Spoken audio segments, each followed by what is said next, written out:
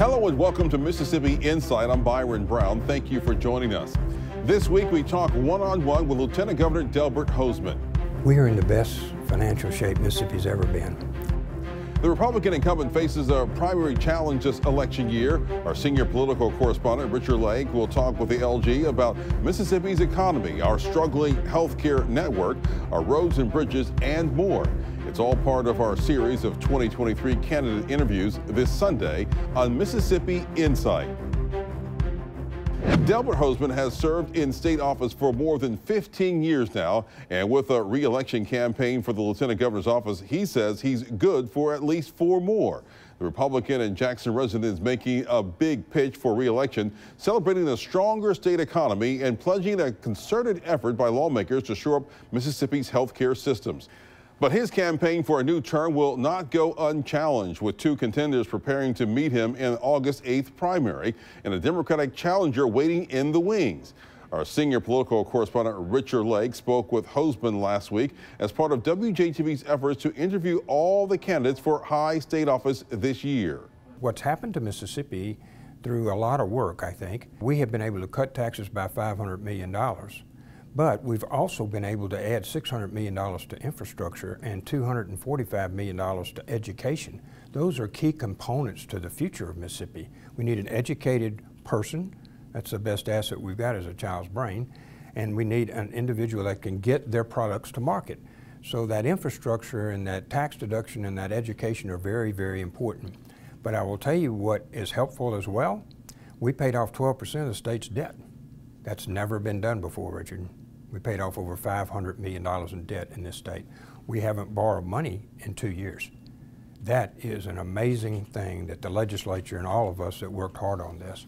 We continue to downsize government. There are 2,300 jobs less now that we, we did by attrition in state government, so we're shrinking the number of state employees, and yet I think we're doing a better job. I'm real pleased that there, there's a balance here. We're able to give tax deductions, education, infrastructure, and then on the same token, we're able to pay off some of our debt and have a very liquid Mississippi. We have $700 million in our rainy day fund and some cash. I don't know if this ever happened before.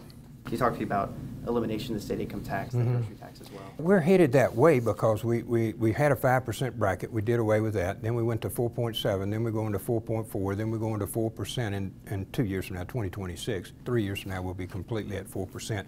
That puts us at one of the lowest, I think the fifth or sixth lowest among all states at tax. But we're not done yet with that. I mean, you'll see us incrementally continue on to reduce that. We're very interested in the grocery tax. I proposed that two years ago. I proposed it last year. It didn't come out of the Senate and the House. Uh, I think we need to look at the grocery tax again. That's about $440 million in Mississippi but it's also everybody eats. I think we can start to look at the grocery tax uh, where we can eliminate uh, critical food needs uh, that people have. Uh, maybe not change it on, on sodas or something, but there's a way to start, uh, I think, uh, parsing down the grocery tax for the average consumer. I think you'll see this next year a movement on the grocery tax as well. But the way to do this and the way that has proved out is incremental, slowly, one at a time, taking those deductions down three points, four tenths of a point every time we do that, and still maintaining our financial integrity. Being able to pay off our debt, get ready if we have a recession, that kind of thing, build infrastructure, make sure our teachers are paid, you know, our living wage. All of those we've been able to do by incrementally cutting taxes, and I intend to continue to do that. I believe the last proposal was to get rid of all taxes by 2036. But if you look at it, we're probably on a faster scale than that. Those incremental cuts, I assume, mm -hmm. is, is the strategy with that too, is to uh, also like give some buffer time in terms of getting some of that revenue back, making up for. That's correct. Inflation is, is, is rampant right now, as you well know, and interest rates have jumped to about like six or eight percent now, continuing to climb. So that inflation allows us to continue, the state to continue to receive dollars. So we can do this incrementally, and I intend fully to do that. This has been proven by our last two or three years. There's nowhere else where we've had the largest tax cut and reduced the size number of employees and paid off 12% of the state's debt and still not borrowed any money. That saves us probably $30 million a year in interest that I'm sending, was going to send to New York, some bondholder somewhere. I'm able to keep it right here and reduce your taxes with it. A lot of times people will promise things during the campaign, Richard. Oh, we're going to eliminate the income tax. That would be about 2 billion, about a third of the whole state's budget So um, how are you going to do that? Well, they started, they were going to increase it by 2.5% the sales taxes. Well, that didn't even make up for all of it, so all of a sudden they just stopped. The way to do this, the smart way to do this is continue to incrementally cut everything and cut the taxes in state government, and we intend to do that. You've said time and time again that you know Mississippi's in the best economic shape of, of possibly its history. You said it last session. That is Um, correct. What about these policies do you think will keep that momentum going? The biggest thing is educating a workforce. If you look, we're less than 4% unemployment now. You know, it's 3.8 or something percent. Everybody basically that wants to work can work. So what we need to do is make sure we have more people working and that they have better paying jobs. And you do that by educating them. We've actually increased uh, the number of, of children in pre-K by about 6,000. We've actually uh, done dual credit. We've devoted $9 million to a credit that you can take when you're a senior or junior in school at a junior college and community college so that you'll be better educated when you get there.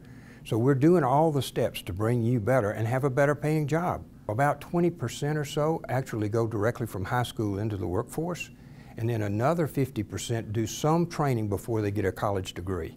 So we want to make sure that everybody's going into the workforce, gets a high paying job. If you need an extra year or whatever to learn whatever your skill set is, we do that, and we're doing that now.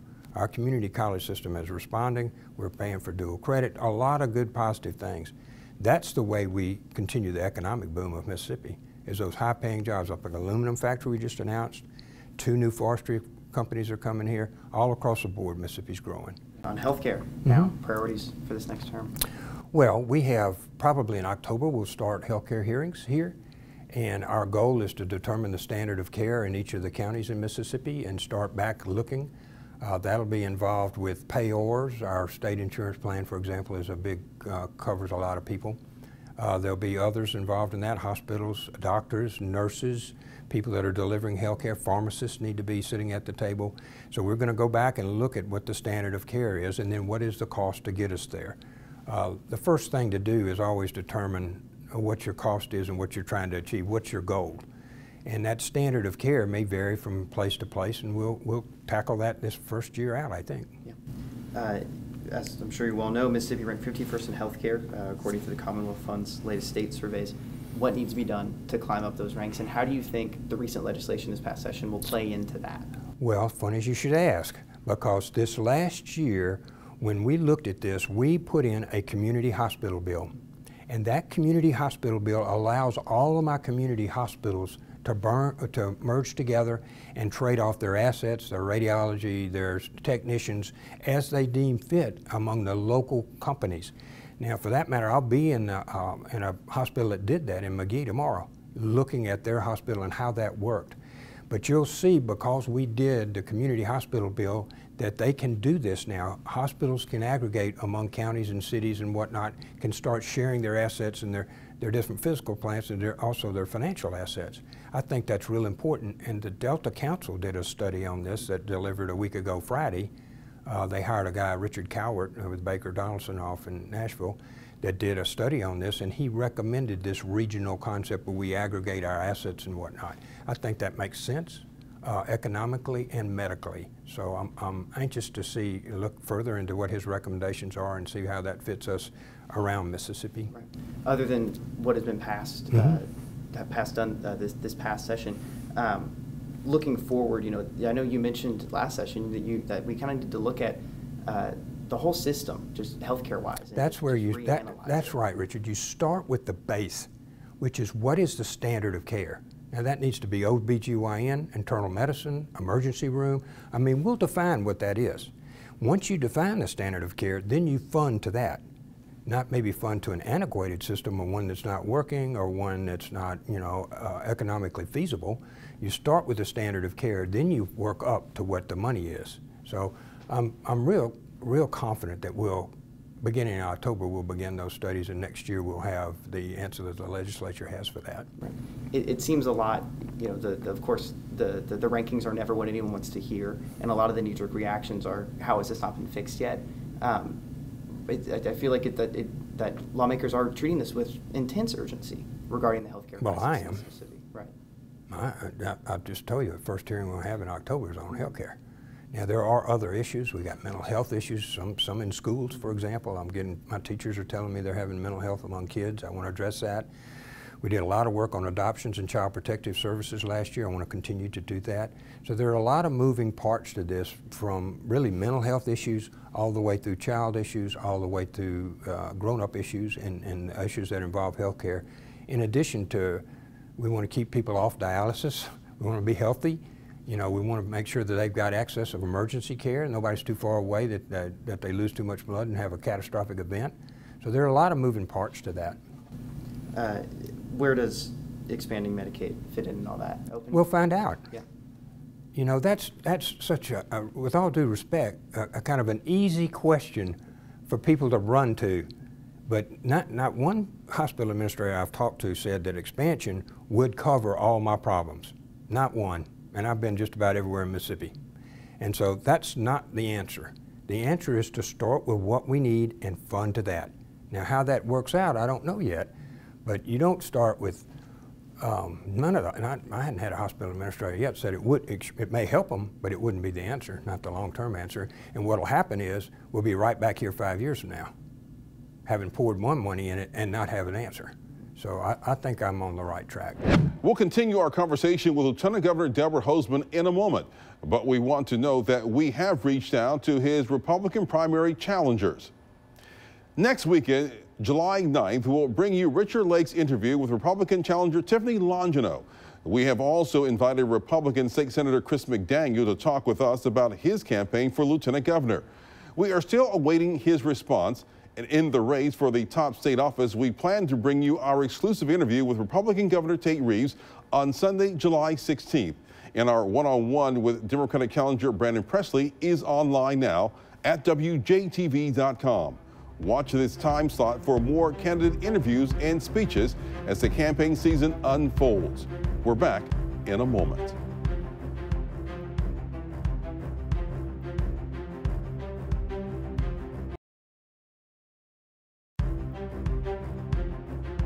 To crime now, you know, legislative efforts to lower crime in mm-hmm. Jackson specifically. Yeah. Huge topic last session. Uh, and House Bill 1020, Senate Bill 2343 are still tied up in the courts. Yeah. Um, your analysis of, of how you think those bills will help, uh, if that will be uh, a focus on Jackson next term. Well, we, we, two years ago, oh, like three years ago maybe now, I started funding judges for Jackson. We hired four of them before any of this other legislation was passed. We hired four judges and we looked at the, there was a huge backlog of cases. Some of it came from COVID, some of it came from whatever. But we had a huge backlog, so we started hiring judges and gave uh, Chief Justice Randolph the ability to hire those judges. And they have started having hearings, and we're having the judicial system move. And uh, subsequent to that, because of the crime, we have to protect the CCID from Jackson State around to the University of Mississippi Medical Center. And I want you to be able to go to college go downtown in Jackson, and I want you to come to the legislature and go to the hospital without being threatened. So we have, we have mandatory sentencing now, which I'm not, I'm not apologizing for that. We have mandatory sentencing for carjacking, fleeing a police officer with, uh, with physical harm. Those kinds of things need to stop. And I'm, I'm getting good reports from, we've hired 120 people in the Capitol Police Force. I'm getting good reports from how they're conducting themselves meetings inside the community to discuss these issues. But uh, all the people in Mississippi have decided we need a capital that you can go talk to your legislature, go to school, or go to the hospital without being threatened. And I think that's a statewide necessity. So we'll continue to do that until everybody feels comfortable about doing that. Right a lot of the concerns have come from the community, specifically the black community in mm-hmm. Jackson. Mm-hmm. What is your message to, to voters who may, may, be just simply scared of, of Capitol Police expanding larger into Jackson? Well, I, I watched, you know, there's a dichotomy there. I watched the, the Prince of Sean being out, Sean Tindell, the head of Highway Patrol, and Bo Weekley out at these neighborhood events.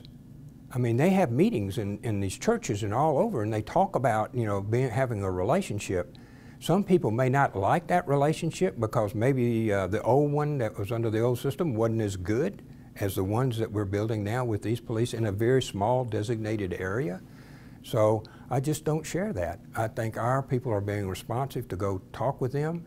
And as Sean said, you know, that we're going to police this part from Jackson State around to through downtown out to the university. And Fondren, we're going to police that part like we're supposed to. They're going to follow the law, whether it be speeding or shooting someone or whatever. So I just don't see that. The conversations that I watch and, and listen and talk to people about is that they are, um, I would say, very satisfied with the fact that we are helping them. And uh, the whole state of Mississippi is paying for that. Um, you know, we'll, we'll see in the long term how it works, but I'm, I'm proud of Sean and I'm proud of Bo going into churches and having sit downs like that. That's really important to get that calming influence and to let, let them know that there, there are people behind that uniform and they're no different from the people in that church when they're talking to them. They want safety for themselves. They want their children to be able to go outside and play without having shooting, shooting in the house. They, they don't want their child to be shot on the streets. They want their kids to be educated. Eh, the same things we do. Those police officers are human. They're just the same as everybody else. And I, I think was we more humanize them and stop this, let's just shoot at the uniform stuff, uh, I think we'll see more and more people uh, accept and encourage the, the policing that's going on with the Capitol Police. Right. Crime obviously happens elsewhere other than Jackson. It does. Any, any sort of... Uh, well, the mandatory sentencing applies to Gulfport just like it does to Jackson, just like it does to Tupelo or wherever. So yeah, we're, the things that we're doing are applicable everywhere. We've spent a little over $600 million on infrastructure this year. Um, it's a great priority for us. Interstate 55, Interstate 20, Highway 49, uh, Highway 90 on the coast, all over Miss Highway 15 and Ripley, all over Mississippi, we're doing capacity projects that we didn't have a chance to do before. And that makes it safer for you to go to work, safer for your kids to go to school, how to get your products to market. So infrastructure is a big deal for us, and it will continue to be a big deal as long as I'm there. I think we did 2.3 billion last year. But again, we're doing that while we're reducing taxes and not borrowing money. So we're able to do it all right now, and I'm real pleased with the legislature and what we've done. Absolutely. Anything on Jackson Water and that continued struggle? Uh, what, what, can Metro voters? Well, expect? we did the match like we did for every uh, for every city. We matched, I think, uh, 37 million or so for them, so it would be about 80, see, 74, 74 million dollars or so that went into Jackson Water. Um, we did that for all the cities, and Jackson put up their money, and, this, and the legislature appropriated a match to do that um, there's a huge amount being dumped into here by the, uh, by the federal government, and so we'll just have to let that play out. We are in the best financial shape Mississippi's ever been. We have the brightest future we've ever had.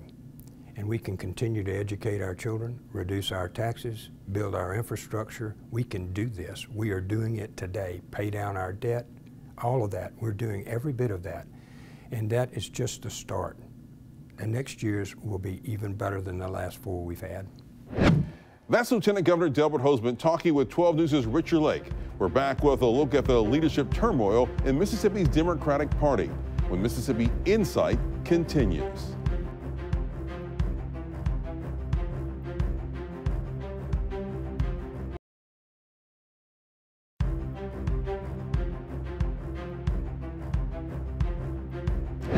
An insult-laced email from the chairman of the Mississippi Democratic Party has some members worried. They're concerned it may jeopardize a quarter of a million dollar donation coming from the Democratic National Committee. In an email sent to State Executive Director Andre Wagner over a $250,000 DNC donation, Chairman Tyree Irving personally attacked Wagner's educational history, personal knowledge, and professional accolades. Wagner replied saying that the DNC would not be sending money to Mississippi, citing the chairman's actions. That money would be put to use in political operations throughout the state, including Brandon Presley's bid for governor. 12 News spoke with current and former Democrats about why this flap is so detrimental to their party. Those that consider themselves Democrats and who participate in electoral politics and contribute to candidates just don't have the money. It is absolutely imperative that we are capable of raising money from outside the state. New leadership uh, would reinvigorate morale. It also would show national folks who are interested in uh, helping the actual Democratic Party feel confident that that organization is being ran properly and that support up and down the ticket to candidates can actually take place where candidates can get out and do their job more effectively. Removing Irving as chairman would require a two-thirds vote of the 80-person Democratic Executive Committee. Irving did not reply to repeated requests for comment, but he told MississippiToday.org that no one was informed him of the DNC backing out of the donation. We're back in a moment.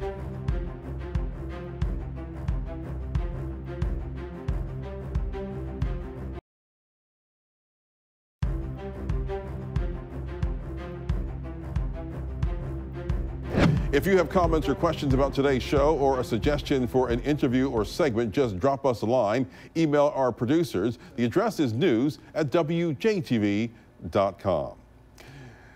We want to thank Lieutenant Governor Delbert Hosemann for talking with us this week. We'll be back next weekend with one of his primary opponents, Tiffany Longino, in a similar interview segment. And we'll continue to bring you more of the political and current affairs coverage that you demand.